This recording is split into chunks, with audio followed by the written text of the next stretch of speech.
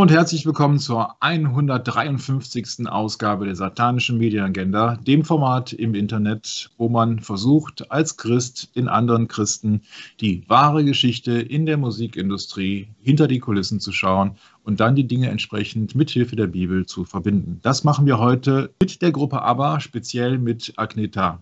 Und wer da genauso gut mittlerweile in dem Thema ist, ist der Jörg, der jetzt mir hilft und mit mir zusammen die Moderation macht, um zu schauen, was wirklich los ist mit Agneta Felskop und der Geschichte bei ABBA. Irgendwas ist da nicht koscher. Das ist, glaube ich, etwas, das Licht sollte inzwischen einem jeden aufgegangen sein, der auch nur ein Zehntel dieser Sendungen gesehen hat. Und da will ich jetzt nicht 15 von den 153, sondern selbst ein Zehntel der ABBA-Sendungen, die drei Sendungen. Irgendwas stimmt da nicht irgendwas ist darin uneinig. Das hat auf der einen Seite dazu geführt, dass die Gruppe sich getrennt hat und auf der anderen Seite, wie kann eine Gruppe, die sich Anfang der 1980er Jahre trennt, beinahe 40 Jahre später noch solch einen Erfolg haben, obwohl die Gruppe es nicht zusammenkriegt, als Vierergruppe nochmal irgendwo aufzutreten, obwohl sie alle durch glückliche Umstände Gott möge sie weiterhin schützen, noch alle am Leben sind. Ja, ist noch keiner von umgekommen. Ist ja eine ganz interessante Sache. Es gibt also unglaublich viele ungeklärte Dinge im Hintergrund von ABBA, die man sich so vordergründig gar nicht erklären kann. Und für diese Hintergrundinformation ist halt Bruder Michael zuständig und deswegen möchte ich jetzt gerne Mäuschen spielen und zuhören und zuschauen bei dem, was du zu sagen hast, Bruder.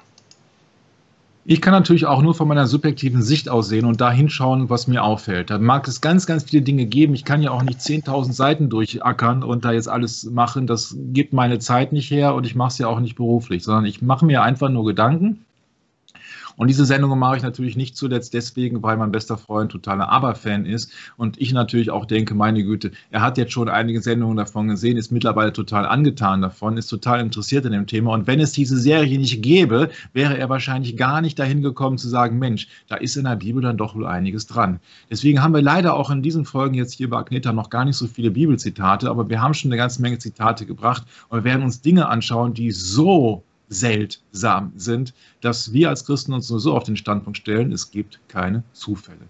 Und deswegen ist das eine Sendung, die jetzt mit einem Schlagbegriff erstmal anfängt, den wir bis jetzt noch gar nicht hatten, und zwar in keiner der Sendungen, und zwar Fan. Wir haben in der letzten Sendung gelernt, dass Agneta totale Angst vor Fans hat, vor Menschen hat und sagt, ich habe zweifelweise Tagträume, dass sie irgendwie mich verfolgen und dass sie mich lebendig auffressen oder zumindest mich bedrängen. Also, was ist ein Fan? Uns wird erzählt, ein Fan ist ein begeisterter Anhänger einer Person oder Sache, zum Beispiel die Fanstürme auf den Fußballplatz. Das ist aber nur heute so.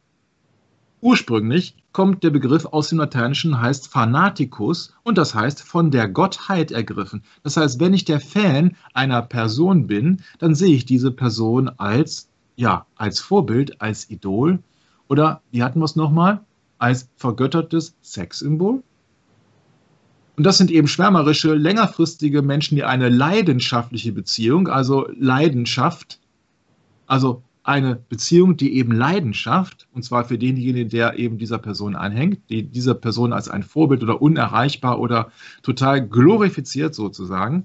Und das sind eben, wie wir hier sehen in dieser Zusammenarbeit, Fassung, die ich jetzt hier mal gepostet habe, nur das rot gedruckte, die Verkürzung dieses ganzen Artikels, das sind eben dann Rituale der Verehrung der betreffenden Person. Wenn also dann 10.000 Leute sich bei ABBA die Hände hochstrecken und sagen, ja, ihr seid die Größten, dann verehren die die, weil das für die die Götter sind, die auf der Bühne stehen.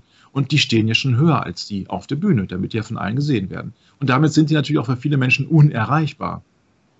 Ja, nicht so zuletzt mit welchen Menschen ist sie denn da zusammen? Sie ist jetzt da zusammen mit einem Menschen, der den Karl Gustav persönlich kennt.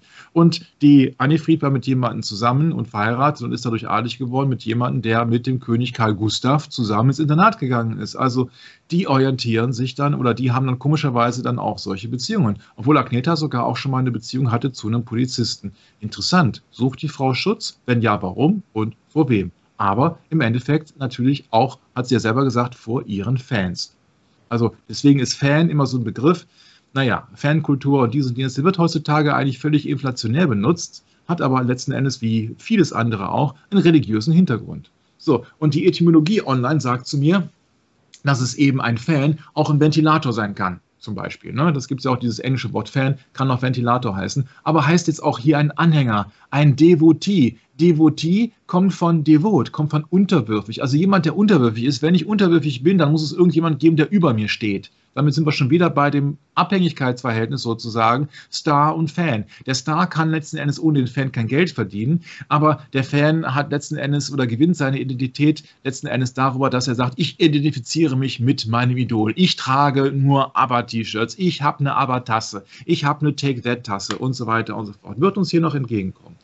Und von Fan kommt natürlich dann auch äh, der Begriff fanatisch, fanatic, kommt aus dem Jahre 1520 und heißt letzten Endes insane person, also eine völlig verrückte Person. Verrückt in dem Moment, weil jemand halt nicht genau auf dem Platz ist, wo er eigentlich stehen sollte oder auf dem Standpunkt steht, den er stehen sollte, sondern einfach einen verrückten Standpunkt hat. Ja, mad, also total bekloppt, enthusiastisch, inspiriert von einem Gott. Ja, aber wenn ich dann verrückt bin und enthusiastisch, wenn ich verrückt bin und von einem Gott inspiriert werde, dann muss es dann letzten Endes der Gott dieser Weltzeit sein, also Satan. Also das heißt, diese schlechte Eigenschaft bezieht sich da natürlich dann direkt, vor allen Dingen, weil es eine religiöse ist, mit dem ursprünglichen Begriff von Fan, bezieht sich dann schon wieder auf Satan, den Adversary oder wie Benny Anderson in seinem Hotel sagen würde, dem Rivalen, ne? the rival. Gut, geht weiter. Ja, immer hier sind Tempel, ja, und so weiter und so fort. So, ein ganz harmloser, anscheinlicher Artikel in einer Zeitschrift. Heißt, aber Versprechen, im Herbst kommen wir nach Deutschland. Warum sehe ich da zwei Pentagramme direkt? Und die sehen jetzt so aus, als wenn sie wirklich gerade jetzt aufgestanden wären und gerade ihren Orangensaft getrunken hätten und wirklich darauf freuen, nach Deutschland zu kommen. Das ist das Bild, was aber nach außen hin abgibt. Ach, wir fahren ein bisschen im Schnee, wir haben ein bisschen Spaß. Hahaha, ha, ha. Chiquitita, sag mir was falsch ist. Chiquitita, tell me what's wrong. Nee, steht hier nicht. Das Bild, was hier ist, hat mit dem Bild hinter den Kulissen nichts zu tun. Das, was hier gemacht worden ist, da war die Ehe schon total in, in Stücken und so weiter und so fort. Und die lächeln nur für die Kamera. Also das ist alles Show. Jetzt gucken wir uns mal den Hintergrund an von Show.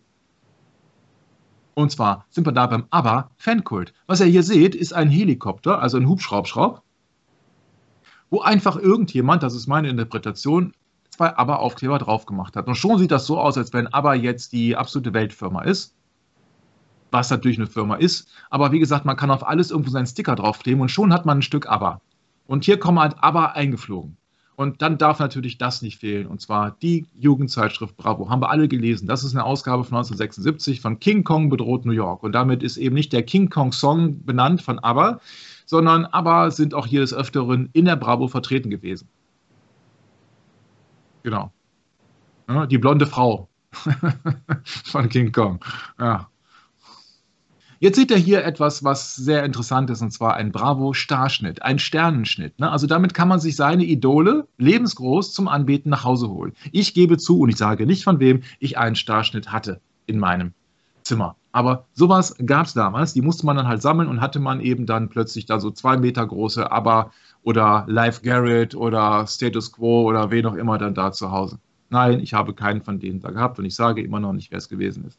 So, das ist Björn Noveus, der freut sich darüber, dass aufgrund seiner ganzen äh, Karriere er natürlich jetzt auch aufsteigen kann. Deswegen machen die natürlich auch mit ABBA eine ganze Menge Promotion, verkaufen T-Shirts, Tassen und was weiß ich. Das seht ihr beispielsweise in dem Film ABBA The Movie von dieser Australien-Tour in Ende der 70er Jahre. Da laufen die Leute dann auch mit Kaffeetassen rum von ABBA und mit T-Shirts und mit was weiß ich. Aber geht noch weiter. Also wie gesagt, Starschnitt äußerst bedenklich. Ich hole mir meine Götter direkt nach Hause. Also wie gesagt, äh, das ist eben jetzt hier, damit man mal ein paar Bilder hat, wie wir es in den 70ern aussah. Man sieht ja schon am BMW-Modell äh, 30 CS oder was das hier ist, Anfang der 70er Jahre muss das sein, zumindest das Auto ist so alt. Welcome ABBA, endlich mit dem Volvo. Ne? Und warum ich das gemacht habe, ist ganz einfach hier. Es gibt genug ABBA-Fanseiten im Internet, die uns wahrscheinlich jetzt hier massiv äh, bedrohen oder zumindest massiv äh, ihren Unmut äh, kundtun werden, nach dem Motto, wieso greift ihr meine Idole an? Weil man einfach keine Idole haben darf. Ja, weil das nur Menschen sind, die ganz, ganz, ganz sterblich sind. Ne? Die müssen letzten Endes auch äh, jeden Morgen aufstehen und sich die Haare machen. Das sind insofern keine Vorbilder. Ne? Wir haben ja schon viele Sachen gehabt, aber Drogen, Alkohol, äh, Untreue und so weiter. Das sind ganz normale Menschen. So, jetzt bin ich aber hier in ein Aber-Forum reingegangen, die gut singen können, klar. Ne? Aber-Forum und die haben gesagt, gibt einen berühmten Starschnitt. Kennt ihr den? Habt ihr den? Habt ihr irgendwelche Erinnerungen dran? Und gibt viele Leute, die halt sagen, ja, ich habe den, ich habe den an der Wand gehabt und boah, super und so und ich war da total stolz drauf und die Leute überbieten sich natürlich teilweise diesen Foren hier und sagen, Mensch, ich hasse dieses, ja toll, ich hätte gerne jenes, ich kann es zu tauschen und ich suche das. Da gibt es Leute, die total davon ähm, eingenommen sind und dann sagen, Mensch, ich habe alle Ausgaben von dem und dem und äh, man, man, es gibt also wirklich richtige, beinharte, steinharte Fans. Ja, guck, einer schreibt jetzt hier, meiner ist noch ungeschnitten und fast jede Seite einzeln und so weiter und so fort. Und es gibt Leute, die wirklich sowas, sowas sammeln und aus der Nostalgie heraus, dass es ihre Idole sind. Und zwar auch, wie der Jörg richtig sagte, durchaus noch 40 Jahre später oder noch länger. Ich habe jetzt hier nichts groß gemacht, weil, wie gesagt, das ist halt einfach nur, damit man sieht, was da in diesem Forum halt alles gemacht wird, und dass es da Tassen gibt und Aufkleber gibt und was weiß ich noch alles gibt. Das ist also wirklich eine ganze Menge. Und zwar für jede Gruppe, jetzt völlig unabhängig von ABBA. Es gibt auch Leute, die fahren zum Museum und setzen sich da einen Hubschraubschraub oder so. Also alles Mögliche. Ich habe auch meinen, einer meiner besten Freunde war auch schon da gewesen, aber äh, Stockholm Museum. Das übrigens nur noch äh, zahlungsfrei zu erreichen ist, also Bargeld geht da nicht mehr. Wissen wir ja, wem wir das zu verdanken haben, nämlich den Björn Ulveus. Aber geht weiter. Aber forever. Wie gesagt, diese Menschen, die das machen, die sind im Endeffekt harmlos. Das sind halt Fans und so weiter, die finden das toll, die finden die Musik klasse. Die Musik ist ja auch teilweise wirklich klasse, ist gar keine Frage. Ja. Und äh, nur damit ihr mal seht, es gibt diese Menschen heutzutage nach 40 Jahren und mehr immer noch. Hm, geht weiter. Bravo Otto. Der Bravo Otto ist ein Preis, den die Bravo-Leser seit 1957 jährlich durch Abstimmung an ihre Lieblingssterne, also an ihre Lieblingsgefallenen Engel, also Sterne gleich Engel in der Bibel, verleihen. Der Preis war ursprünglich eine Medaille auf dem Abbild eines fiktiven pausbäckigen Beleuchters Otto, der eine Art Bravo-Maskottchen war, das sie dann links auf dieser Zeichnung, respektive auf dieser Mütze oder Medaille oder was es immer da ist, dann darstellt. Ein Schelm, wer Böses dabei denkt, an den ja. Super Trooper mit dem Scheinwerfer, ne? Ja, ja. Kleiner Insider-Joke. Der Lichtträger, ja? Der Lichtträger, ne? Eine Allegorie für Lucifer. Ja, seit 1957, da wo in Deutschland ne, alles noch so weit in Ordnung war. Hm? Elvis Presley kam gerade so auf die Szene und solche ganzen Sachen, alles war super. 1965 wurde sie dann in einer Trophäe in Form eines Indianers abgelöst, zu Zeiten der Karl-May-Verfilmungen attraktiv. Ja, es gab diesen Otto, also diesen kleinen äh, Otto-Indianer, eben in Gold, Silber und Bronze, genau wie jetzt bei einer Preisverleihung bei Olympia. Ja, also da sind wir schon wieder bei Griechenland. Gut, es geht weiter die meisten Rekorde, die meisten Ottos gewann auch ausgerechnet Bon Jovi, da muss man gar nichts zu sagen. Und David Hasselhoff und Pretty Woman Julia Roberts und das Michael Jackson und das. Das wollen wir gar nicht alles jetzt hier wissen. Das kann man sich, das sind mit üblichen Verdächtigen. Michael Jackson, Bee Gees, Thomas Gottschalk, Take That und Dieter Bohlen. Ist doch süß, ja. wie Inge Meisel da reinpasst. Toll, ne? mhm. Michael Jackson und Inge Meisel. Also, entschuldige, die beiden nebeneinander. ja, das ist, finde ich, eben mal ja, erwähnenswürdig. Das Skript hat auch durchaus humoristische Ansätze, ja. Aber wie gesagt, machen wir weiter. Die interessanten Dinge, die kommen jetzt alle. Und ich hoffe, dass wir in dieser Sendung auch jetzt dazu kommen. So, da seht ihr jetzt. Silberne Otto im Jahr 1974 für Aber. Das war das Jahr von Waterloo. Da seht ihr die, ne? Unfreiwillig, sexy. Und ja, also auch der Björn Ulveus hat da wenig anzuziehen, rechts. Aber wie gesagt, die haben also den zweiten Platz gemacht. Die haben nie den ersten geschafft, aber die haben mehrfach den zweiten Platz geschafft. Ne? So. Erster Platz Teens, da hat endlich Jörg seine Lieblingsgruppe. gimme, gimme, gimme your love. Zweiter Platz aber, dritter Platz Kiss und nein, ich werde Teens nicht behandeln. Ne? Aber und Kiss hatten wir dann wenigstens schon. Also die Leute, die damals 1977 abgestimmt haben, die, glaube ich, ist das hier gewesen, 77 oder so, die äh, haben dann wenigstens noch. Ne? Oder vielleicht auch später, keine Ahnung. Teens mhm. war, glaube ich, erst 79. Gut, geht weiter. Hier gibt es Briefmarkenblöcke von ABBA und so weiter und so fort. Das ist alles ja noch die harmlose Variante. Ernster wird es gleich. Ne? Hier, Bravo war 1980, beliebtesten Gruppen Teens für ABBA und Kiss, dann müssen wir 1980, klar, nachdem wir Kiss dann geschmettert haben, hier Show No Something und vor allen Dingen I Was love, Made for Loving You, die haben dann da abgeräumt. Und da seht ihr die beispielsweise mit dem, dem silbernen Otto da in der Hand, ne? oder halt auch da Frieda vielleicht mit dem bronzenen oder so, weiß ich nicht. Ne? Also auf jeden Fall mit dem Otto. Hm? Oder mit anderen Preisen dann auch. Aber Fanatik. Ne? Fanatik wisst ihr schon, ne? Bei Fanatik haben wir eben abgeklärt, was fanatisch ist. Da seht ihr jetzt mal einen Ausschnitt von dieser Seite, aber fanatisch. Geht weiter. So, ich hoffe, die Dame, die das jetzt hier vielleicht sieht, ist mir jetzt nicht böse, dass ich sie genommen habe. Ich habe überhaupt nichts gegen diese Dame. Überhaupt nicht. Die ist total sympathisch auf dem Bild. Sie ist jetzt nur ein Beispiel dafür, dass es steinharte, beinharte, absolut eiserne Aber-Fans gibt, auch im Jahre 2020. Dafür ist das da. Also, liebe Frau, wenn Sie das sehen, es geht überhaupt nicht um Sie als Person, es geht über Sie nicht als Mensch. Es geht letzten Endes darum, um zu zeigen, was es alles von Aber gab, was es alles von Aber gibt und dass es heutzutage auch noch steinharte, beinharte Aber-Fans gibt. Das heißt, da gibt eine ganze Menge an Merchandising, eine ganze Menge an Fanartikeln, eine ganze Menge an sogenannten Devotionalien, an Gegenständen der Verehrung. Ja, deswegen mache ich das, liebe Frau. Gut, weiter geht's. Das sind öffentliche Bilder aus dem Internet. Ja? Also bitte, wenn Sie da ein Problem mit haben, ich äh, kann es auch gerne jetzt äh, anders formulieren oder wie auch immer. Ich habe überhaupt nichts gegen Sie. Sie sind eine sehr interessante, sehr sympathische Persönlichkeit. Nur Sie haben Ihren Raum nach aber Utensilien ausgerüstet. Und deswegen fand ich das so interessant zu zeigen, guck mal hier, solche beinharten Fans und diese ganzen Sachen gab es und gibt es. Ja, das umfasst nicht jetzt nur Bücher und Schallplatten, sondern gibt es dann Kugelschreiber, Stifte, Blogs, Kalender, Klamotten, äh, äh, Basecaps und was weiß ich noch alles. Ja, das ist wirklich nur ein Beispiel. Und vor Ihnen hat die Agneta auch garantiert keine Angst.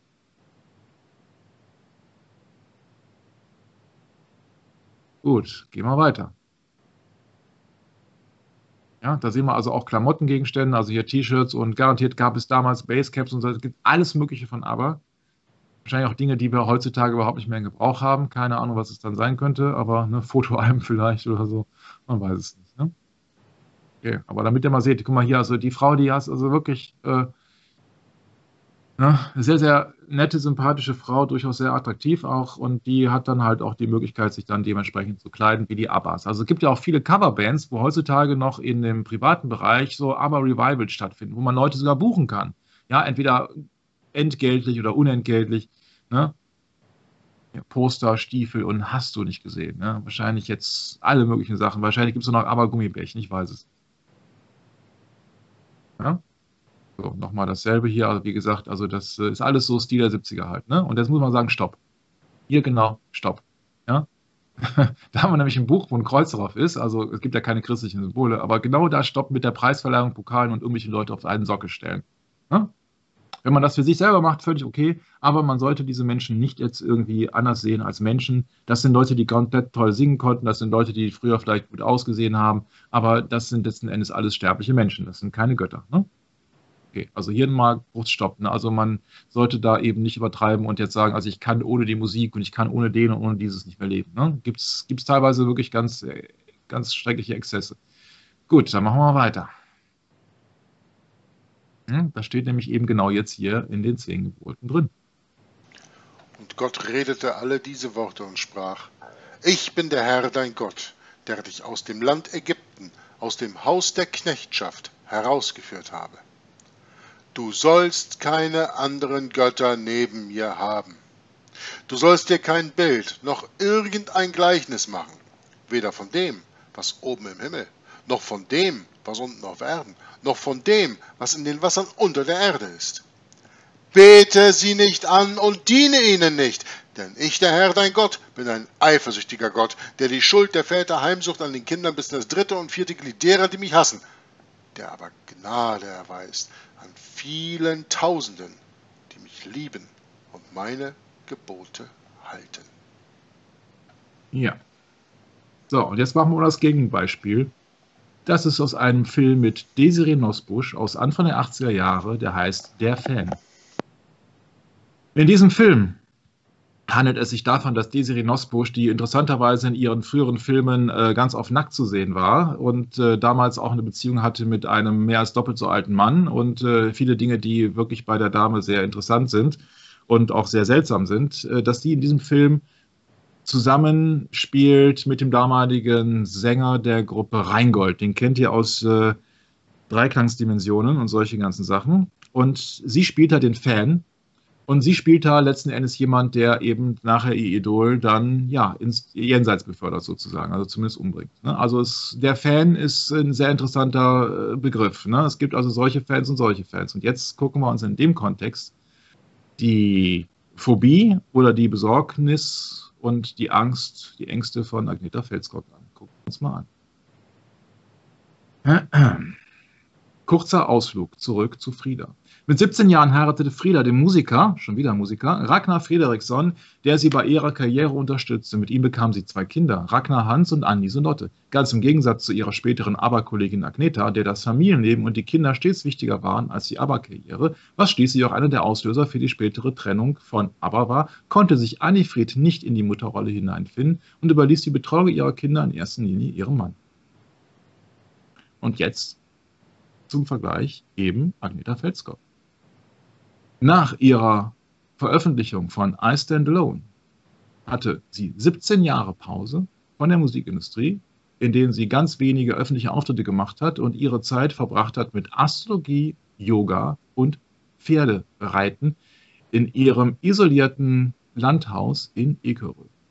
Also Astrologie ist Sterndeutung made in Babylon. Yoga ist fernöstliche Religionsausübung mittels Verbeugung mittels Mudras und Mantras, wo es sich um asiatische Gottheiten geht. Beides sind heidnische Religionsausübungen, auch wenn man das so nach außen hin nicht sagt. Aber das ist eben das, was es ist. Wer das nicht glaubt, Folge 10 der Gender Agenda Beatles und weitere Drogen. Folge 3 von weiteren Toren für die Toren. Da ist sowas besprochen. Zurück zu Agneta Felskog. Die Agneta Felskog Archive. Oh wei, oh wei, oh wei. Die arme Frau. Geht weiter.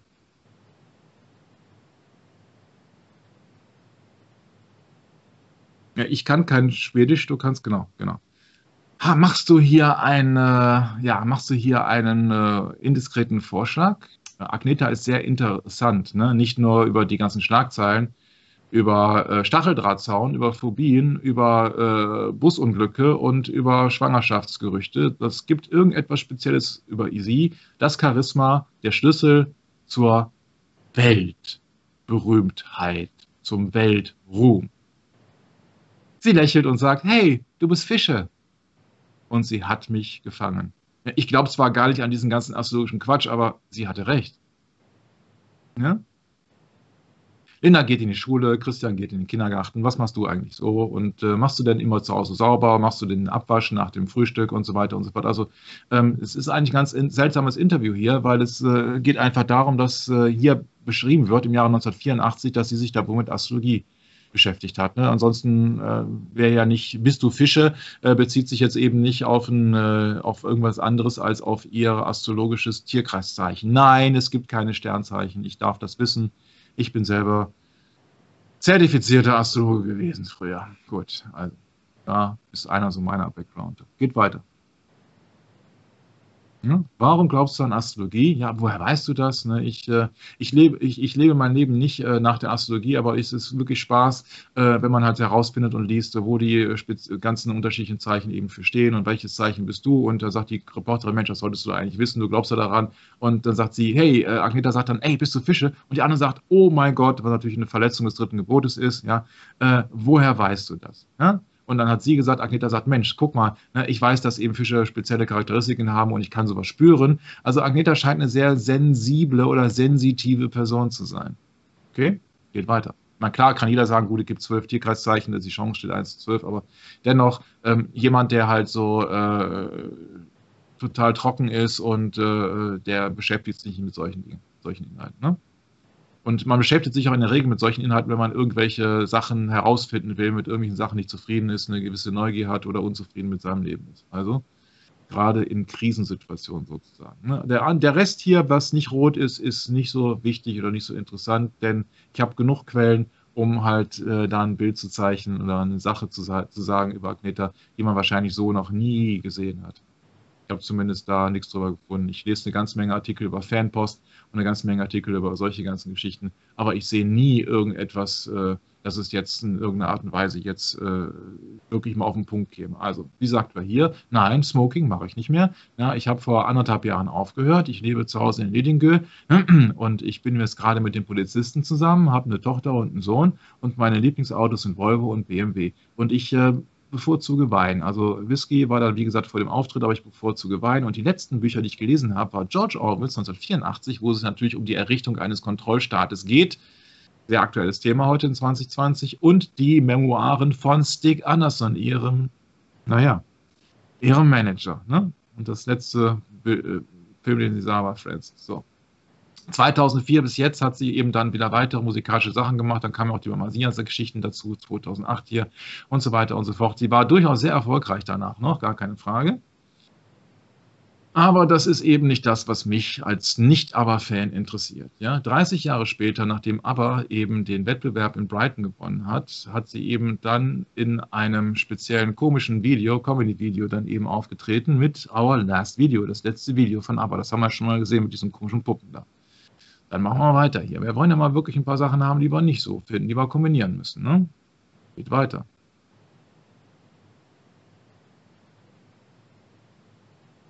Stockholm Pride 2013, ja. Mhm. ja, kann sich jeder auch was zu denken. Ne? So. 2013 hat sie auch nochmal äh, Top 5 Platzierungen gehabt und so weiter. Also sie ist nicht unerfolgreich. Die kann also ganz locker damit äh, immer noch mitschwimmen im sogenannten Mainstream. Ne? Geht aber weiter.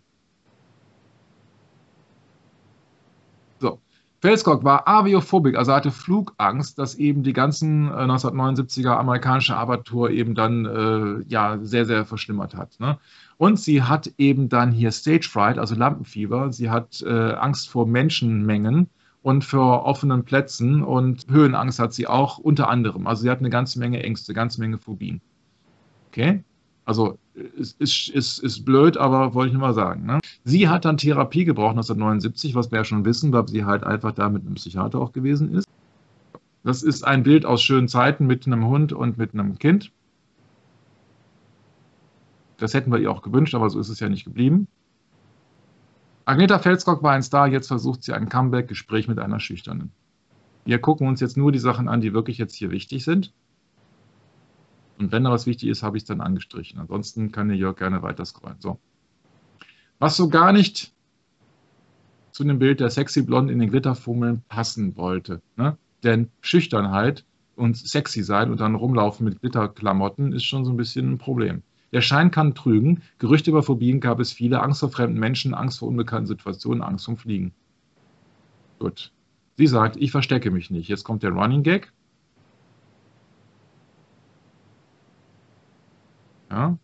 Vollkommen unfreiwillig ein vergöttertes Sexsymbol, wenn ich mich so in Pose stelle. Aber gut. Dass sie so wenig von sich preisgibt, lässt sich wohl auch mit Entführungsdrohungen gegen die Kinder in den 80er Jahren und die Erfahrung mit einem Stalker 1997 einem niederländischen Fan erklären.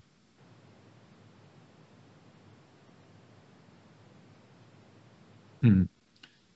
Tja, ich wollte einfach nur nach Hause. Ja? Das ist eben das, was sie sagt. Nach Hause, nach Hause, nach Hause. Sie sagt, Zitat, Fans wollen einem nah sein, das verstehe ich, aber man muss auch an die Sicherheit denken, sagt sie heute dazu. Ihr Privatleben zu schützen ist ja das Wichtigste. Dass das mit der Werbung für ihr neues Album nicht gut zusammenpasst, nimmt sie in Kauf. Am besten hat sie das wohl 1988 in einem Interview erklärt. Zitat, ich mag es, ein kleiner Star zu sein. Ein großer Star zu sein, ist ein zu großer Druck. Zitat, Ende. Sie hat ja spät früher mal gesagt, Moment, ich will halt einfach nur singen. Deswegen hat sie auch damals alles Mögliche gemacht in ihrer Freizeit und hat dann im Job selber ist sie dann zusammengeklappt mit 16 Jahren und Kreislaufkollaps, wenn ich richtig im Kopf habe, weil sie einfach sich zu viel zumutet hat. Ne? Jetzt ist hier nochmal die Geschichte, dass sie eben sagt, ne, ohne Whisky kann sie nicht mehr auftreten, hysterisches Publikum. Das hatten wir alles schon. Ja. Und jetzt kommt die Geschichte mit Pech. Pech habe ich grün gemacht. Warum? Weil ich nicht an Pech glaube.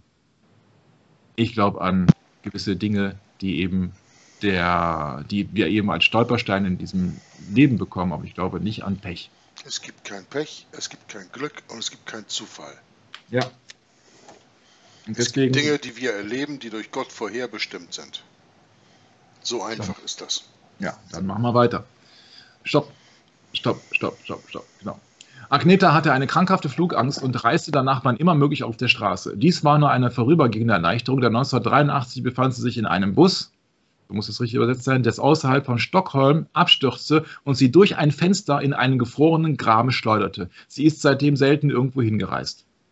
Also, sie hat doch schon mal einen sehr seltsamen Unfall gehabt, ne? 1983. Also, nicht fliegen hat dann auch nicht so viel geholfen. Sie ist dann aus einem Bus geflogen. Also seltsame, seltsame Sachen sind bei ihr passiert, aber es wird noch seltsamer, noch viel, viel seltsamer. Kommt jetzt gleich. Kommt gleich auf der nächsten Seite. Agnetas Liebesleben war nie einfach. Ihre Ehe mit Björn, mit der sie zwei Kinder hat, endete 1979, als beide den Psychiater aufsuchten. Ovius schlüpfte später in die Arme von Lena Calassieux, einer Werbefachfrau, mit der er glücklich verheiratet bleibt, also bis heute. Agneta hatte kein solches Glück. Sie verliebte sich zuerst in einen schwedischen Eishockeystar, dann in einen Modedesigner und später in ihre Eheberaterin. Oder in ihren Eheberater wahrscheinlich. Ne? 1990 heiratete sie Thomas Sonnenfeld, einen Stockholmer Arzt, aber die Beziehung dauerte kaum zwei Jahre. Wie gesagt, es ist eins zu eins übersetzt. In die Leere stolperte die bizarre Gestalt von Gert van der Graaf, einem niederländischen Fabrikarbeiter mit Brille. Aber Fans wurden 2003 zum ersten Mal auf seine Existenz aufmerksam, als Agneta sich bei der Polizei beschwerte, dass sie von einem Verrückten verfolgt werde und, Zitat, Angst vor meinem Leben habe. Ja. Geht mal weiter. Mach ruhig weiter hier, genau. So, das ist der Mann hier, ja, Gerd van der Graaf. Aberstar Agneta Felskog begann eine Beziehung mit einem Niederländer, der von ihr besessen war. Who was obsessed with her? Als die Beziehung beendet hat, hat er angefangen, ihr hinterher zu äh, laufen, also ihr zu stalken. Deswegen gibt es auch da interessante Sachen zu. Geht mal weiter. Als der ABBA-Sängerin Agneta Felskirk die Beziehung, das wäre auch schon interessant, eine Beziehung mit einem Stalker beendet hatte, hat er über 300 Liebesbriefe gemacht, die, woraus sie dann Angst um ihr Leben hatte. Ja? Sie musste dann Schlaftabletten nehmen und hat Entschuldigung, eben, vielleicht willst du schneiden. Von Liebesbriefen steht hier nichts, ne? Briefe. Ja. Keine Liebesbriefe. Ja, ich meine, sonst schneidet es immer so Fälle Ja, ich weiß das von den, von den anderen Aussagen da. Ja, ja, klar. Achso, ja, ich wollte ja. auf den Punkt mhm. aufmerksam machen. Ja, ja, ja. So. Es hat einen Punkt erreicht, wo die Sängerin eben dann Schlaftabletten nehmen musste, um überhaupt noch zur Ruhe zu kommen nachts und eben für die äh, Sicherheit ihrer Kinder sich gesorgt hat. Sie hat jetzt hier ein Interview gehabt mit ihrer damaligen äh, Haus- und Hofrezensistin, sozusagen Britta Amann. Britta Amann hat gesagt, ich habe sie gewarnt und habe ihr gesagt, das könnte sehr gefährlich sein.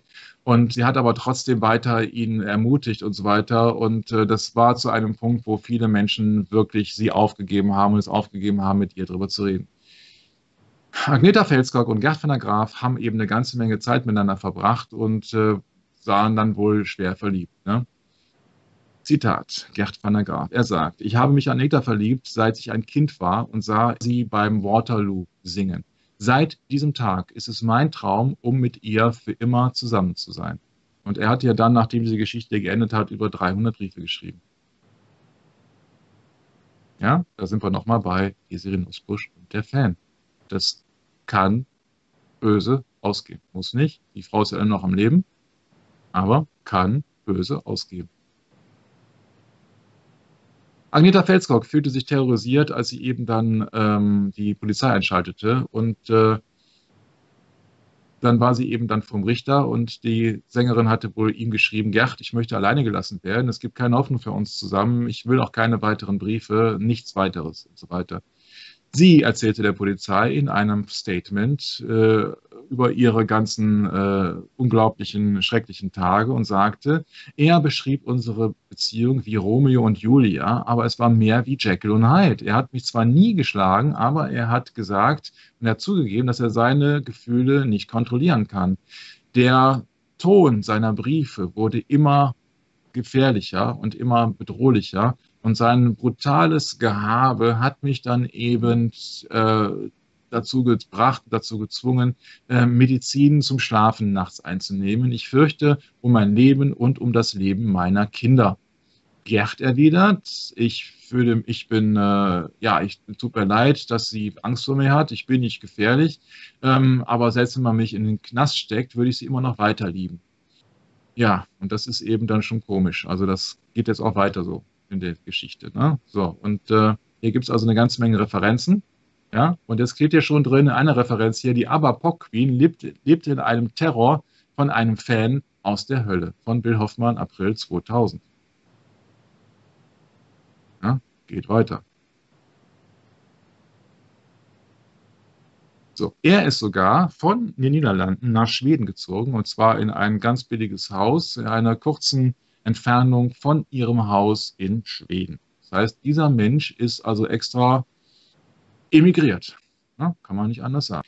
Es begann vor sechs Jahren, als Van der Graaf, ein Holländer, der von ABBA im Allgemeinen und Agneta im Besonderen besessen war, in eine baufällige Hütte in der Nähe ihres Hauses im ländlichen Schweden einzog. Er dekorierte sein Haus von Boden bis zur Decke mit glänzenden Farbfotos von Agneta und fing dann an, um ihr Haus herumzuhängen. Zitat. Ich traf Agneta schließlich in der Stadt und sie war überrascht, wie viel ich über ihr Leben wusste. Zitat Ende, sagte er der britischen Zeitung. Bald verbrachten die beiden viel Zeit miteinander und Van der Graaf sagt, sie seien Liebhaber geworden und zutiefst verliebt. Aber Agneta spürte, dass etwas nicht stimmte und brach ihre Beziehung innerhalb von zwei Jahren zweimal ab. Pannen, die Gerd van der Graaf dazu veranlassten, sie mehr mit 300 Briefen und Tausenden von Telefonanrufen zu überfluten, sagen Polizisten. Im vergangenen September versuchte der Popstar den Kontakt zu ihrem schlaffen Ex komische Übersetzung, sorry hier, ähm, abzubrechen, aber er schrieb weiter und folgte ihr. Aus Angst, dass er gewalttätig werden könnte, erhielt Agneta im vergangenen Herbst eine einstweilige Verfügung gegen ihn, nachdem sie dem Richter einen Brief an Van der Graaf gezeigt hatte, der lautete, Gerd, ich möchte in Ruhe gelassen werden, es gibt keine Hoffnung für uns, ich möchte keine Briefe mehr und nichts anderes. Trotz des Briefes sagt die geschiedene Mutter von zwei Kindern, also Agneta, er habe sie weiter verfolgt. Sein Verhalten hat mich dazu gezwungen, nachts Medikamente zum Schlafen zu nehmen. Ich habe Angst um das Leben und das meiner Kinder. Zitat aus Bright Lights, Dark Shadows. Aber Während Frieda es mit tatsächlichen Tragödien zu tun bekam, verfing sich Agneta immer mehr in einem scheinbar undurchdringlichen, bizarren Netz aus Traurigkeit und unglaublich surrealen Begebenheiten. In der Woche vor ihrem 50. Geburtstag sorgte sie wieder einmal für Schlagzeilen, als bekannt wurde, dass sie es wegen der Belästigung durch einen verrückten Fan, den stämmigen, kahlköpfigen Holländer Gerd van der Graaf, die Polizei einschaltete. Ihm wurde vorgeworfen, Agneta über einen Zeitraum von drei Jahren mit einigen hundert Briefen überschüttet und belästigt zu haben. Zitat, Agneta, er ruft mich bis zu dreimal am Tag an und folgt mir auf Schritt und Tritt, wo immer ich hingehe. Manchmal verfolgt er mich in seinem Auto oder wartet an Orten, an denen ich normalerweise spazieren gehe. Mein Leben ist dadurch unwahrscheinlich eingeschränkt worden. Ich traue mich ohne meinen Nachbarn nicht mehr aus dem Haus. Zitat Ende. Als Van der Graaf am 31. März von der Polizei in Gewahrsam genommen wurde, erklärte er, er habe sich schon als Achtjähriger in Agneta verliebt, nachdem er 1974 den Grand Prix d'Eurovision gesehen hatte, also Waterloo. Hier steht es nochmal in Englisch drin. Ja? Also einmal in Deutsch, eine in Englisch. Ich habe dieses Buch auch in Deutsch und in Englisch habe ich es auf dem PC. Ja? Hier steht beispielsweise drin, unter dem Stockholm-Syndrom, das habe ich reingeklebt, verlegt man ein psychologisches Phänomen, bei dem das Opfer von Geiselnahmen ein positives emotionales Verhältnis zu ihren Entführern aufbauen. Dies kann dazu führen, dass das Opfer mit den Tätern sympathisiert und mit ihnen kooperiert. Der Begriff ist wissenschaftlich nicht fundiert. Ich behaupte nicht, dass Agneta Felskog unter diesem Synonym leidet. Ich sage nur, es ist äußerst ungewöhnlich, dass eine weltbekannte Künstlerin mit einem normalen Menschen aus Niederlanden eine Beziehung anfängt. Ja? Hier steht drin in Englisch, The case of Van der Graaf was obviously different.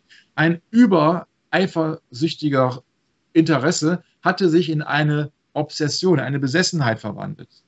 An einem Punkt hat er Agneta beobachtet, wie sie mit ihrem Hund über einen matschigen Pfad nahe ihrem Haus gelangen ist und prompt hat er eine Wagenladung von Kies geordert, um die über diesen Weg zu streuen, damit sie niemals mehr ihre Schuhe dreckig macht. Agneta ging diesen Weg nie wieder. His courting of me was very intense and I went on for a long time. In the, in the end, I couldn't resist him anymore. Also im Ende konnte ich ihm nicht mehr widerstehen, hat sie vor Gericht gesagt. Ich wollte ihn kennenlernen und wir begannen eine Beziehung. Sie hat realisiert, dass er, Zitat, mental unstabil war. Und die Beziehung wurde halt einfach ein paar Mal beendet. Manchmal war alles okay. Wir haben als nebeneinander gewohnt sozusagen und wir sahen uns und haben uns an, angerufen und so weiter und wie das halt einfach machst in der Beziehung. Ja, und Gerd van der Graaf hat einem Reporter gezeigt, wie er eben dann äh, in der schwedischen Westküste zusammen Urlaub gemacht hat. Bevor, ein paar Wochen nur bevor, Agneta dann final quasi den Stecker gezogen hat. Ne? The Girl with the Golden Hair. Ja, so. Dann hat man hier eben Gerd van der Grafos eben dann verurteilt und so weiter und so fort. Und der hat eben dann eine ausgesetzte Gefängnisstrafe bekommen und wurde dann deportiert zurück in die Niederlande. Sein Haus ging in den Besitz der Bank über.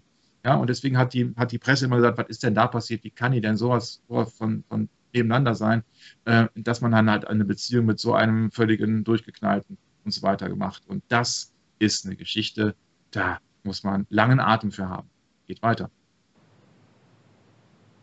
Ja, wie gesagt, die wurde vorher gewarnt von einer ihrer Freundinnen und hat die Beziehung mit ihrer Freundin beendet, dieser Britta Amann, weil diese ihr den Rat gegeben hat, sich von eben diesem Stalker zu trennen. Nachdem 2003, als eben seine Deportation, sein, sein ähm, ja, dieses Gerichtsurteil dann eben ausgelaufen war, dass er eben äh, sie nicht da belästigen durfte und äh, von ihr Abstand haben musste und so weiter, ist er nochmal nach Schweden zurückgekehrt im Jahre 2003.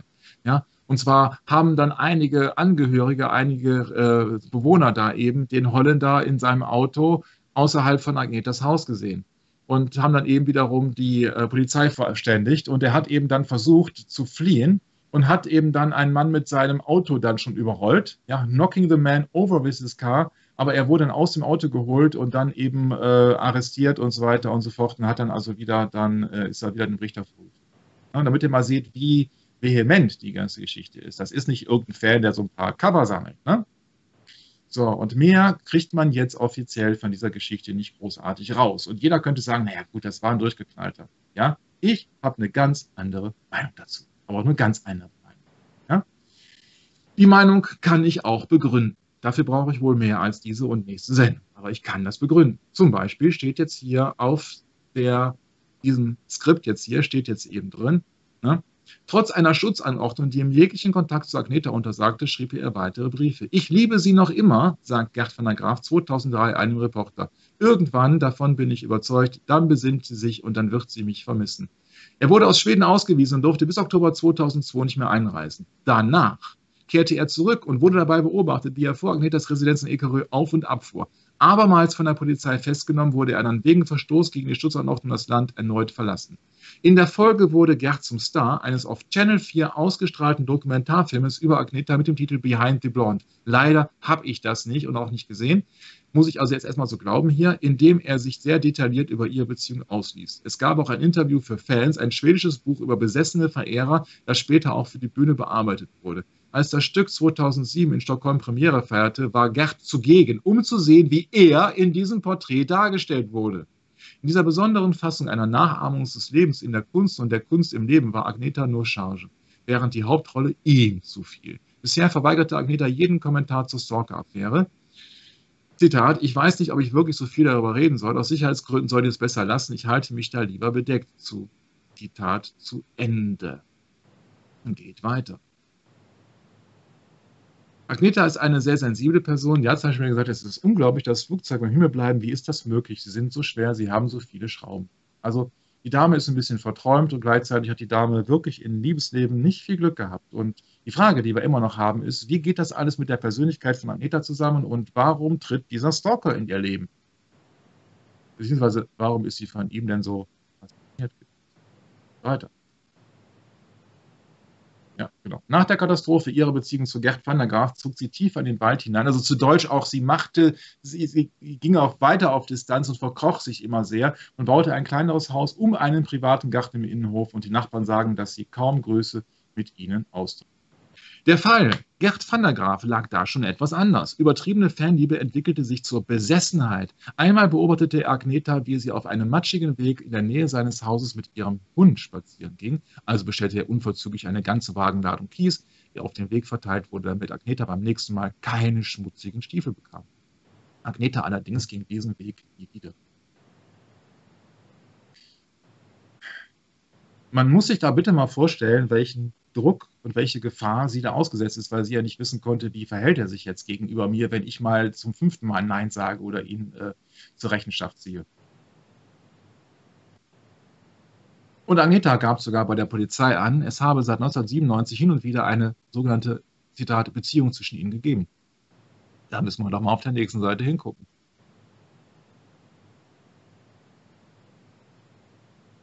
Im Oktober 2000 kam dann die ganze Wahrheit ins Licht. Das Ganze hatte nichts mit einer flüchtigen Bekanntschaft oder gar Freundschaft zu tun. Es handelte sich um eine ausgewachsene Liebesaffäre. Zitat: Seine Zuneigung zu mir war sehr intensiv und er warb lange Zeit um mich, erklärte sie bei Gericht.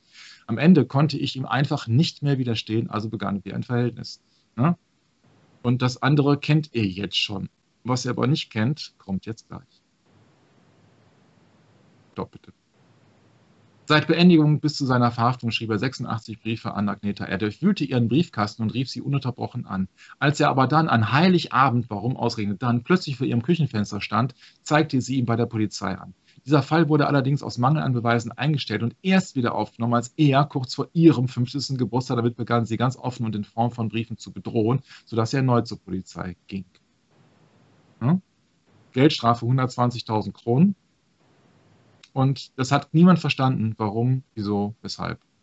Und das hat eben auch zum Bruch mit ihrer Freundin Britta Ehrmann gegangen, die lange Zeit ihre vertraute und inoffizielle Interviewerin galt. Geht weiter. Wird auch nicht schöner. Interessant ist, dass ja er sie besucht hat in Schweden, nachdem sie ja gar nicht mehr so ein Riesenstar gewesen ist. Also seine, seine Verehrung muss wohl sehr groß gewesen sein, denn später ist eben Felscock nicht mehr als Sexsymbol von früher dargestellt worden. Was dieser Satz natürlich impliziert, ist, dass sie früher als Sexsymbol dargestellt worden ist. Ne? Gut, aber das ist ja eben dieser Running Gag. Ne?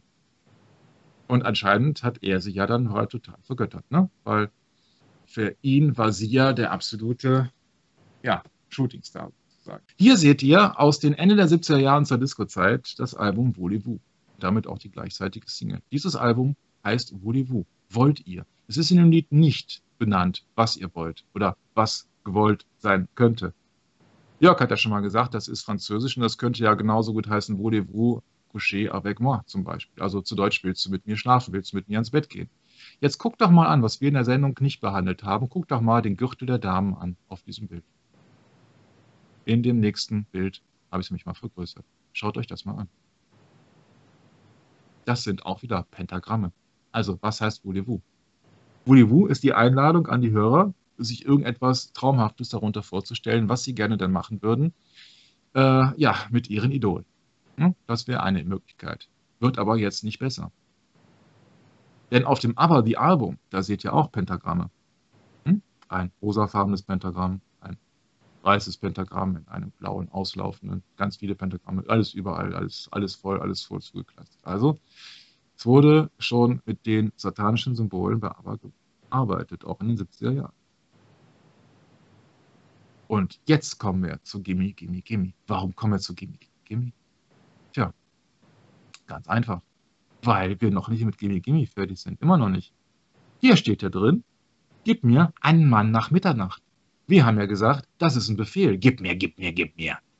So, so wie der Luzifer sagte in Jesaja 14,12. Ich, I will. Hm? Nicht bitte, wird nicht gebeten. Ja? Jetzt ratet doch mal, wer auf dieser Platte Gimme, Gimme, Gimme den Liedgesang macht, den Hauptgesang macht. Das macht die Agneta. Agneta ist diejenige, die sagt, gib mir einen Mann nach Mitternacht. Und Satan hat gesagt, ja, den kriegst du. Und wer jetzt immer noch denkt, ach, das ist jetzt einfach nur so ein normales Lied, was Madonna gecovert hat, oh, da gibt es noch ein bisschen mehr zu erzählen. Gehen wir mal weiter. Da steht nämlich jetzt nicht umsonst so eine kleine Rakete. Das ist nämlich die große Alarmsirene. Die kommt immer dann, wenn irgendetwas kommt, wo man entweder nicht mit gerechnet hat oder etwas kommt, wo man sagt, ach du liebe Güte. Also wenn ich das richtig verstehe, dann hat die Anna Fried ihren Mann nach Mitternacht bekommen, den reichen Prinzen, den sie geheiratet hat. Die hat die Money, Money, Money bekommen. Die hat ja, Money, ja, Money, Money bekommen. Ja, ja, genau. die, mit, dem, mhm. mit dem reichen Prinzen, ne, den sie da geheiratet mhm. hat, den von Reuss mhm. oder wie der heißt. Mhm. Und die Agneta hat ihren Stalker bekommen. Auch nach Mitternacht wahrscheinlich. Nach Mitternacht. Weil es muss ja irgendetwas Negatives sein, ne? Nach ja. Mitternacht. Gimme, gimme, gimme. Aber jetzt geht noch weiter. Wir sind ja mit Gimme, gimme, gimme immer noch nicht fertig. Habt ihr euch dieses Bild überhaupt mal angeschaut? Grün. Ich habe damals. Bitte? Grün, die Farbe. Grün. Grün, die Farbe der Hexerei, der Zauberkraft. Ja? So, und jetzt guckt mal an, was trägt sie denn da auf dem Bild? Sie trägt Weiß. einen Schal, ne? Ist ihr kalt? Die anderen tragen keinen. Warum trägt die Frau einen Schal? ich meine, klar, weil es optisch jetzt ist und ganz toll aussieht und so, ne? aber äh, ich glaube, nicht vielen Menschen ist bewusst, was ein Schalen im Okkulten bedeutet. Dann geht nur auf die nächste Seite. Das ist eine Bedeutung eines Schals. Das ist ein Strick. Das ist ein Strick. Ja, ein Schal kannst du damit benutzen, um jemanden zu erdrosseln. Das wusste Edgar Wallace schon. Deswegen hat er das gemacht eben mit dem mysteriösen Halstuchmörder in das initiale Tuch. Und wenn er sagt, völliger Unfug, dann sage ich halt einfach, okay. Ja, Entschuldigung, warum trägt denn Agneta als einzige hier einen Schal auf dem Bild? Und wenn jetzt jemand sagt, das ist alles Zufall, dann sage ich, okay, dann ist das für euch oder für dich oder für den Agneta-Fan Zufall. Aber schaut mal hinter Agneta. Was steht denn hinter Agneta? Ich meine nicht den Benny. Hinter Agneta steht ein Fenster. Und das ist in grün gehalten, wie der Jörg schon richtig sagt. Und der Originaltext von Aber Gimme Gimme heißt I open the window. Und das ist das, was sie singt. Das ist dieselbe Geschichte wie bei Peter Gabriel, wo er sein Fenster öffnet. Ja? I open the window and I gaze into the night. No one outside. Keiner draußen aber sie will ja ihren Mann nach Mitternacht haben und das, was sie singt, womit sie Geld verdient, wo sie quasi betet, ja, gimme, gimme, gimme a man after midnight, ist ein Befehl nach außen, da ruft man die dunkle Seite an und sagt, ja, gib mir doch einen Mann nach Mitternacht.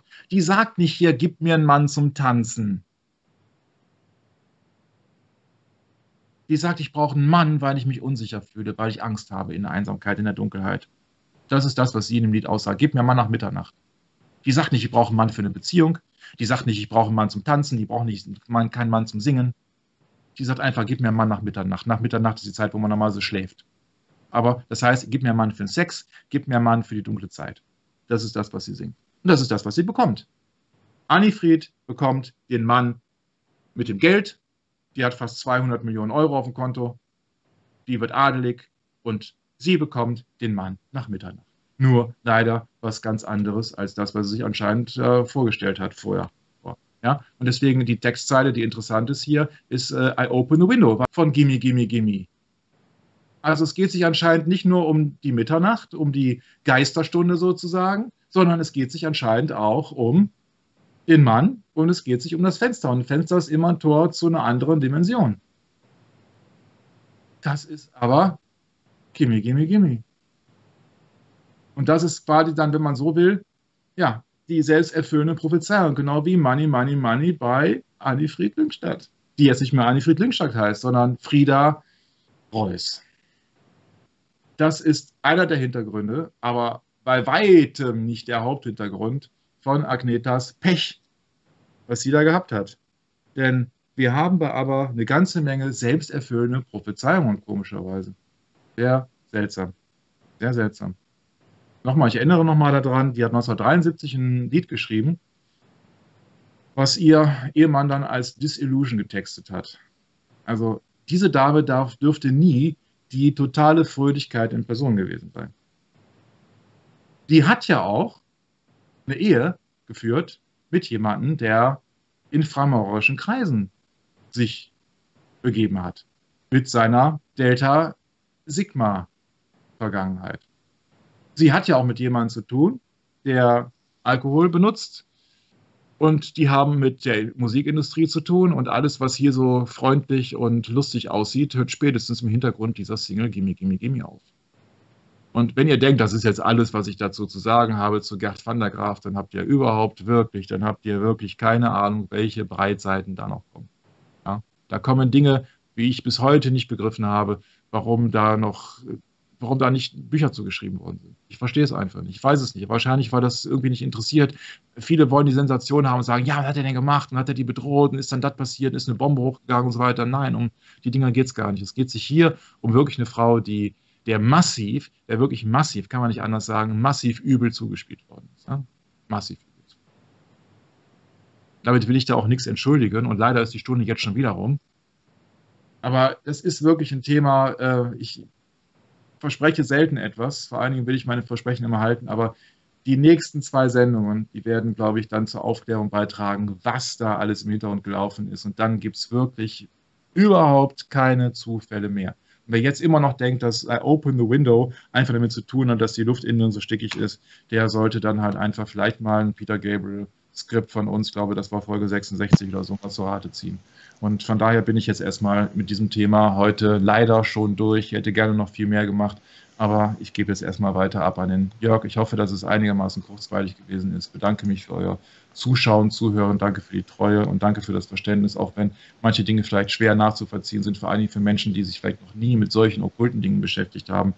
Dann ähm, hat man sicherlich auch äh, erstmal ein totales Verständnisproblem. Und das habe ich, da habe ich dann wiederum Verständnis für. Das ist eben, weil ich aus einer ganz anderen Ecke komme und die Dinge auch anders sehe. Und äh, ich lade euch einfach ein, die Dinge mal so zu sehen, wie sie halt auch dann biblisch sind. Biblisch ist einfach so, dass sie letzten Endes jemand war, der auch dem Mammon gedient hat. Und äh, wenn man an einem Liedtext etwas singt, ja, dann hat man ein Wort gesprochen und dann ist man dafür verantwortlich. Und da hat sie sich einige Dinge gewünscht, die wirklich nicht optimal sind. Und sie hat viele Dinge bekommen von denen, was sie gesungen hat. Und nochmal, Frieda hat auch die Dinge besungen, was sie bekommen hat. Money, money, money.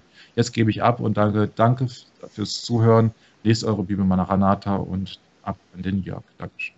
Ich mache mal einen kurzen Abstecher in die römisch-katholische Kirche. Dass wir hier heute so oft gesprochen haben von dem Öffnen der Fenster, das haben wir im Grunde bei Peter Gabriel auch schon, wie Michael richtig angedeutet hat. Und bei Kate Bush, die das ja auf ihrer LP hinten drauf geschrieben hat. Ne? Ich danke Peter Gabriel für das Öffnen der Fenster. Es ist mir vorher nicht aufgefallen, äh, es ist mir vorher nicht eingefallen, aber es gibt eine Stelle und wir werden das mal recherchieren und wir werden euch den Text dann in der nächsten Sendung mal nachliefern. Im Zweiten Vatikanischen Konzil, das von 19, Ende 1962 bis 1965 gelaufen ist, das ist ja das Ökumenische Konzil, da gibt es die Geschichte von, dass der Antichrist ein Fenster geöffnet hat um sozusagen Luft reinzulassen. Wir wissen ja jetzt, dass das eben etwas anderes ist. Und danach eine interessante Aussage gemacht hat. Und ich denke, wenn wir das in dem Zusammenhang sehen mit dem, was wir hier schon bereits gelernt haben, dann werden einigen, dann wird einigen Leuten das wie zwischen Anführungszeichen wie Schuppen aus den Haaren fallen oder von den Augen fallen. Ähm, weil wir dürfen ja nicht vergessen, das ist hier die satanische Musikagenda. Die römisch-katholische Kirche ist die Kirche Satans hier auf dieser Erde.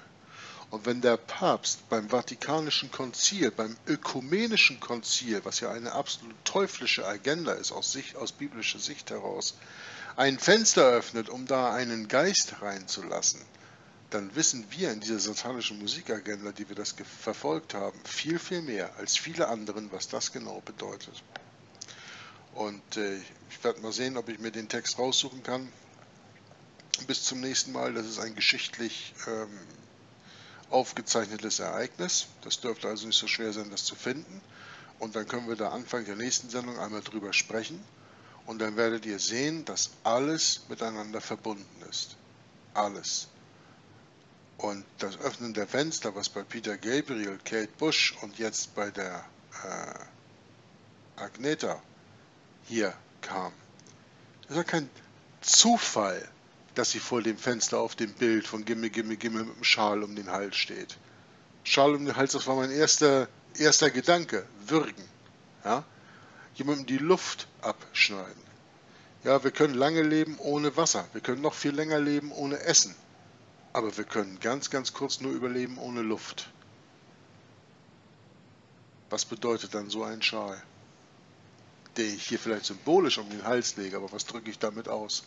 Und um Symbolik geht es hier. Um Symbolik geht auch das beste Buch der Welt, die Bibel. Und die müssen wir immer lesen und lesen bleiben, um uns im Wort Gottes zu festigen. Und von daher schließe ich dann auch diesmal wieder mit meiner wohlgemeinten Aufforderung, dass Gott euch behüten, beschützen und segnen möchte und dass ihr bitte bis zum nächsten Mal eure Bibel lest.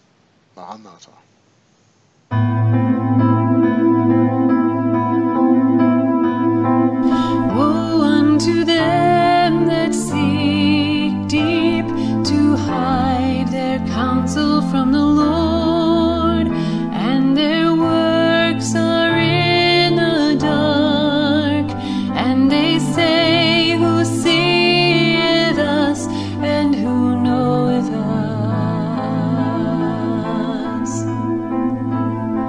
So